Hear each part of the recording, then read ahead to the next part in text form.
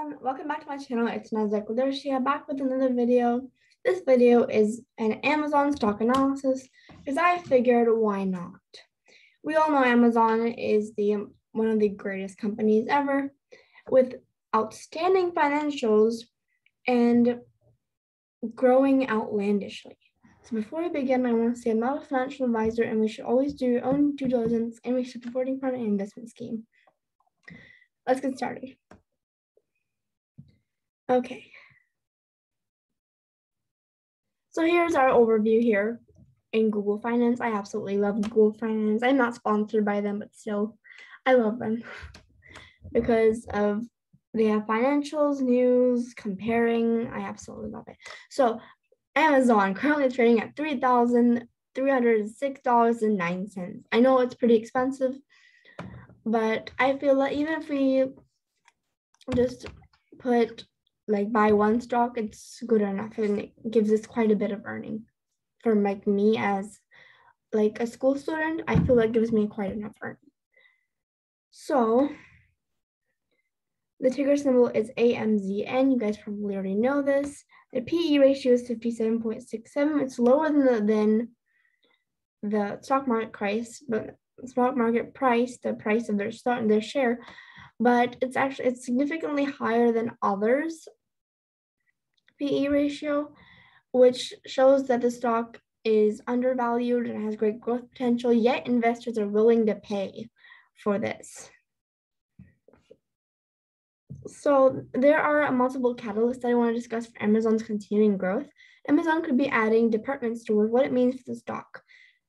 E-commerce giant Amazon is considering adding department stores to its list of business ventures. Reports indicate each store could be about 30,000 square feet in size, with the first few planned to open in California and Ohio. Amazon already has a physical footprint through its new Whole Foods Market stores. However, those mainly sell groceries. Let me tell you, Whole Foods is cool. It's so good. You guys should, if you guys never visited, which I hope you have, don't make me cry if you haven't. Please visit them. They're really good. The newly added stores will more likely carry clothing and other items Amazon has some difficulty selling profitably online. Moreover, the new stores can act as pickup and return hubs for online orders at Amazon.com. I find that that's really, really innovative and smart. Good job, Amazon. Moreover, they can act as pickup and return hubs before we used to wonder how to return from Amazon, I think this is going to make it a thousand times easier. And this will help Amazon continue to grow in the near future and practically forever. I'm really bullish on Amazon, but I'm not a financial advisor, so you don't have to listen to me. Do your own research. So Amazon, Nvidia, and Salesforce stocks popped up today. Why? So they popped up basically because investors rotated back into high quality growth stocks because you know there's security in that. So Barron's highlighted Amazon's attractive growth prospects in e-commerce, cloud computing, digital advertising, logistics, and healthcare in a bullish report on Friday. With Amazon's share price treading water over the past year, Barron's writers Eric Savitz and Max Cherney noted that Amazon's current market capitalization could arguably be justified by the value of Amazon Web Services alone. I obviously feel this is going to grow forever because I remember the time where it was $1,000 and that wasn't very long back. Growth at Amazon Web Services is accelerating and revenue from the unit could hit an annualized 100 billion by 2023, Savitz and Cherney said. Just to put in perspective, their market cap is 1.68 trillion dollars. It's like bigger than anything. Okay valuing that a business say 15 times sales most cloud application companies fetch higher valuations than that. Gives you a market cap of 1.5 trillion. Meaning that investors are getting amazon's e-commerce business and its nascent advertising business almost for free. So restating valuing the business at that say 15 times sales. So 15 times sales and 100 billion by 2023, just 15 times. And they're basically, investors are getting Amazon's e-commerce basically for free then. okay, that's another great catalyst about why Amazon is growing because people already trust them. And so they're going to just dive deeper and deeper and deeper. And it's also listed on Motley Fool's five perfect stocks to buy right now on number one, right here. Wait, wait, there it is. The FANG stocks are a smart way to put $10,000 to work in the stock market. The final perfect stock to buy right now is Amazon. Kingpin, kingpin when it comes to e-commerce. Approximately 0. approximately 40 cents of every $1 spent online this year will route through Amazon's marketplace. Can you believe it? This dominance has helped the company sign up 200 million people globally to a Prime membership. Since retail margins are generally low, Amazon has leaned on its tens of billions of dollars in subscription fees revenue to offset retail margin weakness and undercut brick and mortar retailers on price. And that's amazing. Did you see 40 cents of a dollar is spent on Amazon? Wow. So this is on the, Amazon is also listed on Forbes and for outstanding growth. Amazon stock has gained 3% one year to date and has current price of 3,306 per share. Not when that's when the article was written, which is like about today. And it has a fair value of 4,257 Trefis estimate for Amazon valuation. So Trefis is saying that the, the estimate is 1,000 more.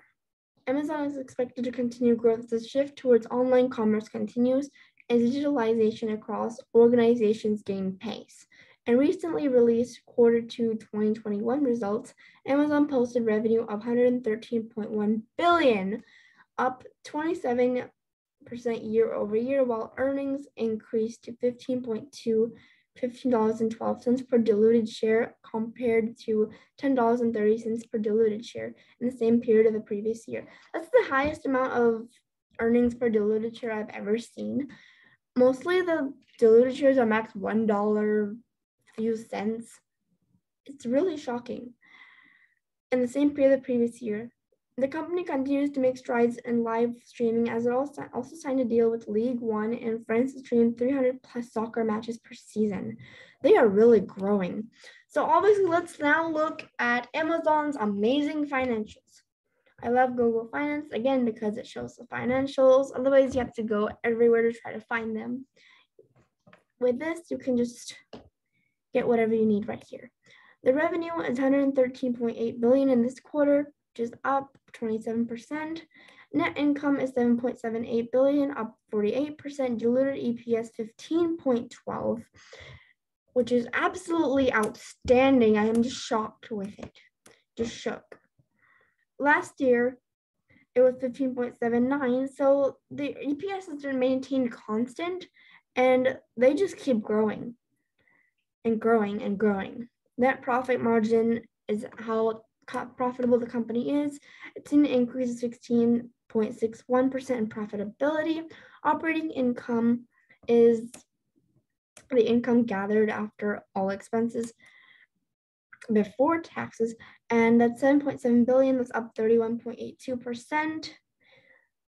It's had a less change than last quarter, but it's still changing very well. It's going up, up, up, and through the roof, which is amazing. Net change in cash, cash has also gone down, but before it was in the negatives and now it's not, which is a very good news. Cash on hand has also gone up 40.38 billion in this quarter. Before it was 33.83 billion, which is still good. Cash on hand is like liquidated cash, how much you have like right now.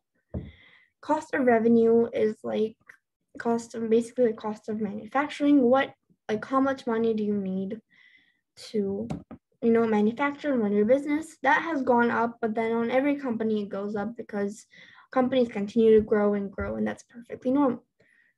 So in conclusion i am a amazon bull and i absolutely love how amazon has been growing despite the fact that stock is expensive and costly to buy i feel like still it is a great stock So thank you guys for watching this video. I hope you enjoyed this video. If you found this information helpful, please be sure to like, comment, and subscribe. If you made it till the end of this video, if you're one of those lovely, beautiful people, thank you so much. Please be sure to comment powder puff below.